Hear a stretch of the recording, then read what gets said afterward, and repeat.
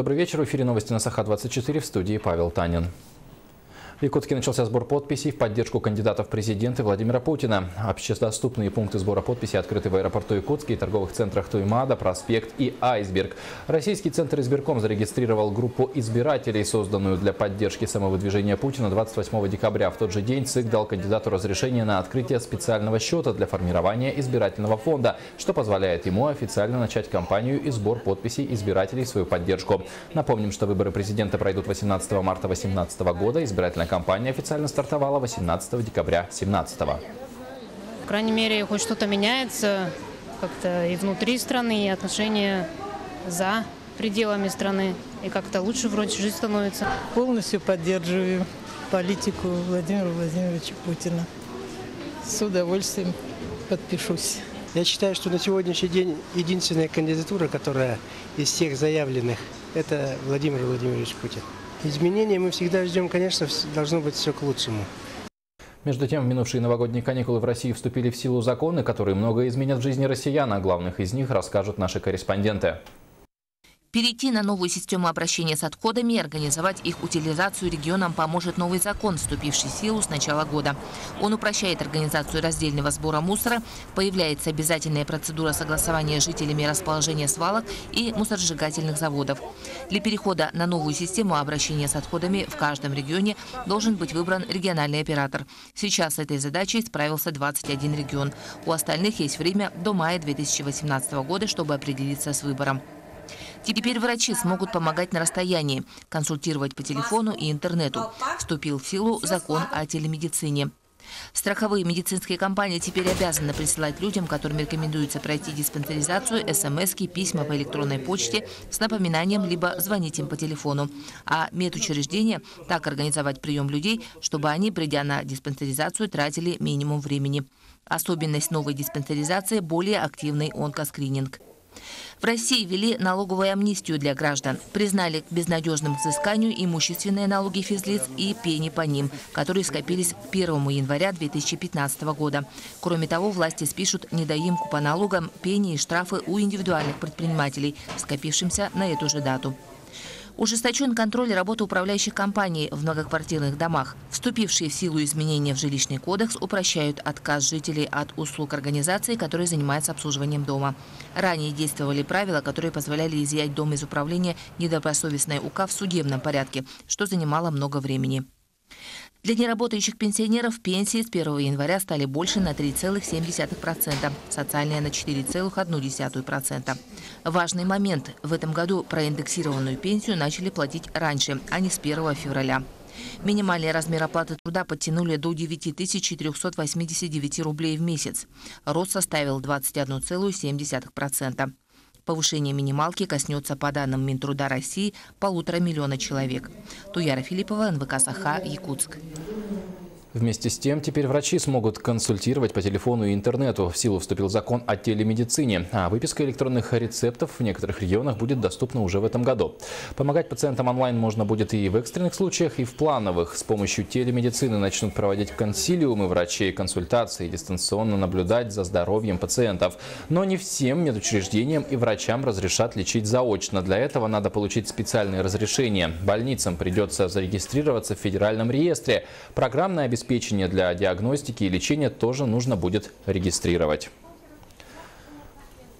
Еще до Нового года власти Устнеры отчитались о завершении ремонтных работ на канализационных напорных станциях. Объявленный ранее режим ЧС сняли. Однако разливы канализационных вод продолжаются. Год начался новый, а проблемы остались старые. Подробности далее.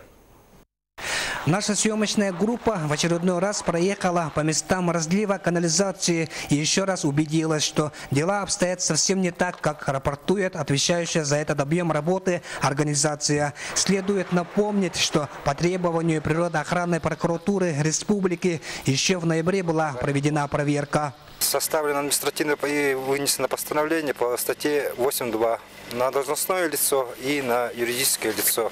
Пока в данный момент штраф не оплачен, если в течение двух месяцев штраф не будет оплачен, будем э, административное расследование по статье 20.25. Весну весну под этим мостом дети играли, мальчишки гоняли шайбу. Сейчас практически все русло ручья наполнено фекальными водами. И маловероятно, что весной кто-то рискнет пройти через этот мост. Здесь же на берегу, как говорят местные жители протоки, находится здание центральной распределительной подстанции. Рассказывает дежурный электромонтер, работающий уже 38 лет Лидия Иванченко. Это центральная подстанция, которая обслуживает поселок. Приходит 6 тысяч киловольт на этот портал. Вот идет кабелем, заходит все это распет устройство. У нас кабель заходит снизу. Если попадет вода в кабельные каналы, а уже куда подошла вода, вот вот вода находится, вот у нас портал, вот уже вода попала в кабельный канал. То есть это будет объемная работа. Поселок останется просто без света. Если не будут приняты неотложные меры и не прекратится сброс канализации в протоку, вполне вероятно еще одна чрезвычайная ситуация местного значения. Светлана Поцелуева, Артур Старостин, НВК Саха, Аймиконский район.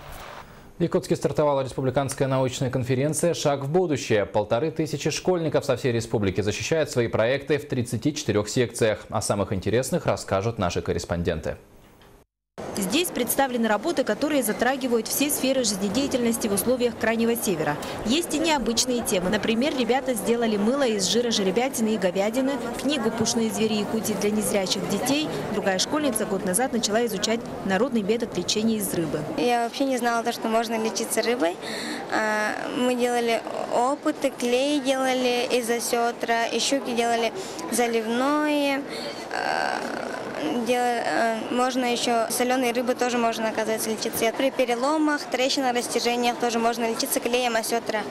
А при ангине можно лечиться желчью рыбы. Одной из массовых профессий будущего специалисты называют оператора дрона. Беспилотники уже широко используются не только для фото и видеосъемок, наблюдения территории и прочее, но и для доставки грузов. А вот ученик из Нерюнгринского района самостоятельно собирает конструктор беспилотного летательного аппарата. Этот конструктор сделан максимально просто. То есть человек, который не знает, как собирать беспилотники, а, вначале получает знание теории, просто потом собирает и настраивает его через программу. Причем программа здесь такая, что все сделано визуально, и это как бы ну, максимально упрощенное. Ну, себестоимость этого дрона где-то 10,5 тысяч рублей.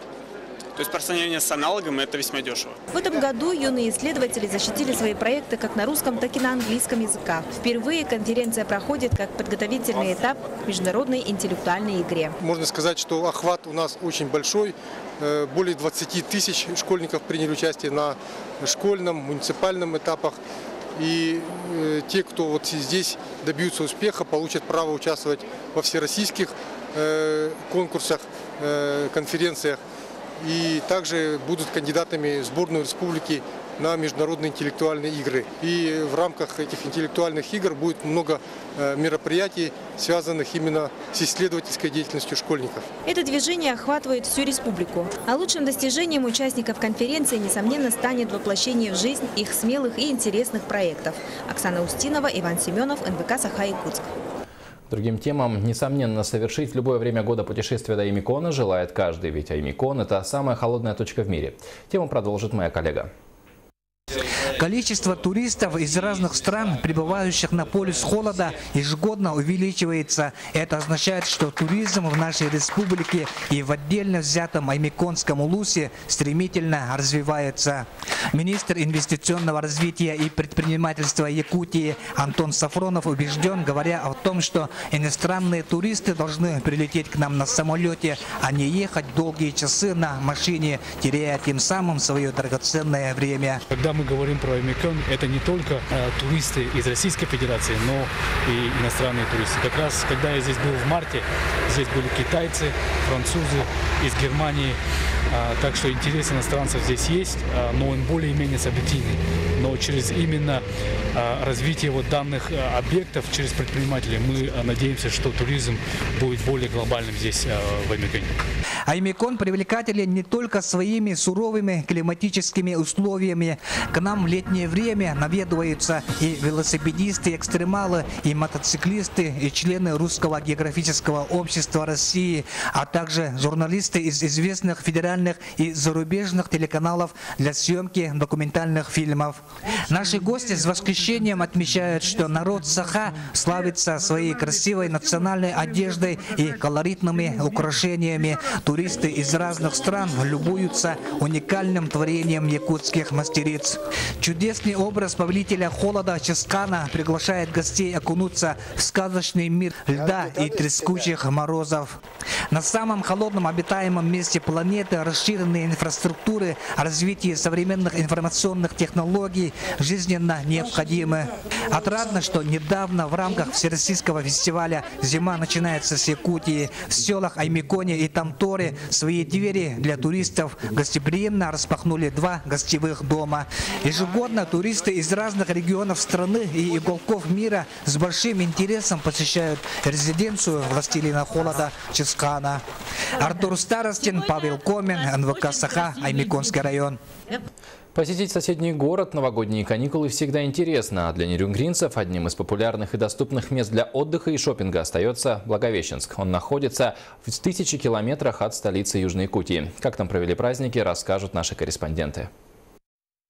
Прямого ЖД-сообщения Нерюнгри-Благовещенск пока нет. Так что, купив билеты до станции Свободный или Белогорск, предновогодних тарифов это около 2000 рублей за место в плацкартном вагоне, будьте готовы провести в дороге чуть более 23 часов. Да, и не забудьте, что вагон-ресторан канул в прошлое. На смену ему пришли оборудованные буфеты. Так что о питании следует позаботиться заранее. Традиционным остается чай в фирменном стакане. Друзья, мы прибыли на станцию Свободный. Теперь нужно быстро перебежать на ту сторону. И наше путешествие продолжится уже на маршрутном такси. Надо быстрее бежать и занимать места. Билет в маршрутном такси выйдет 500 рублей, но стоит помнить, что в отличие от белогорских такси, свободницы не развозят по адресам, а везут до автовокзала. Дорога займет часа полтора. Огромные снежные ледяные фигуры, горки, каток и развлекательные программы – вот чем встречает центральная площадь. Еще совсем недавно приезд в Благовещенск, несомненно, включал в себя и заезд в Китай, соседний город Хайхэ, что на том берегу Амура. Но за последнее время ценовая политика сменила полюса. И теперь за некоторыми товарами уже китайцы едут сюда. Ведь для удобного и приятного шопинга здесь отстроили огромные торгово-развлекательные центры. Сергей Козюра, НВК «Саха», Нерюнгри. К этому часу у нас все. В 20.44 расскажем о главных событиях уходящего дня. Хорошего вам вечера и до встречи на нашем канале.